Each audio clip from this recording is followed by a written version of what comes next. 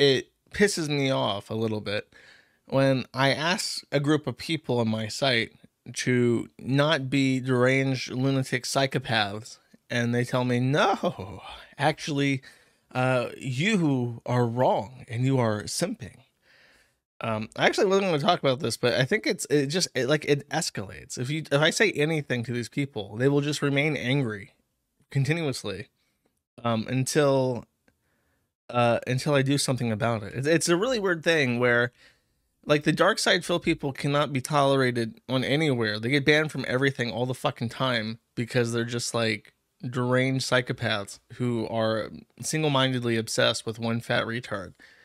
And I ask only one thing of them, uh, which is to lighten up and take it fucking easy. Don't you, you don't have to do crazy illegal shit to Dark Side Phil. Uh, you can you can lighten up a little bit, and it's always met with this utter utter contempt of of me for even daring to ask them that they that they do something a little bit differently. And it's like I, I don't have this. It's it's so bizarre because I have this issue with nobody, with nobody else, nobody else on the entire planet. Do I have an issue where I go into a thread and I say, "Hey, except the Cyrax people, they're they're similar." Where it's like you say, "Hey, you know, maybe don't do this because that's probably illegal and it's uh kind of retarded."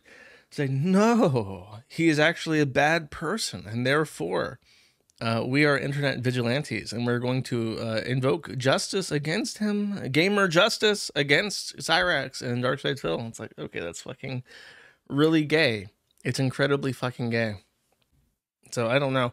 I have I have actually locked the board because it's very clear if I don't do things that compel them to respond in a specific way, uh, I do not get any kind of, of absorption of my message. If I say uh, something and I don't back that up with any kind of force behind it, it will just be trampled on by by these people.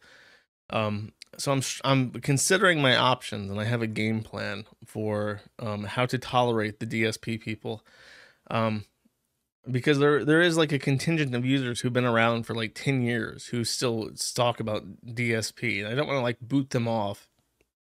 In part because I know if I boot them off, they'll make their own site. And I think they'll have similar issues to the Kiwi Farms because they're deranged. But I think that also mm, evicting people to a different site that's led by like the DSP people will result in a um like a more dangerous form of the board because right now if they have no checks and balances and they just self-regulated uh, without any kind of oversight from people who are more grounded in reality.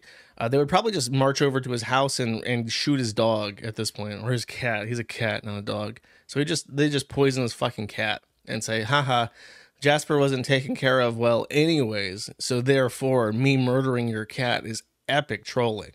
It's shit like that. I have a feeling, I have a sneaking suspicion that they need benevolent dictatorship to to encourage them not to be insane cat murderers. That's my theory with the Dark Side Phil people.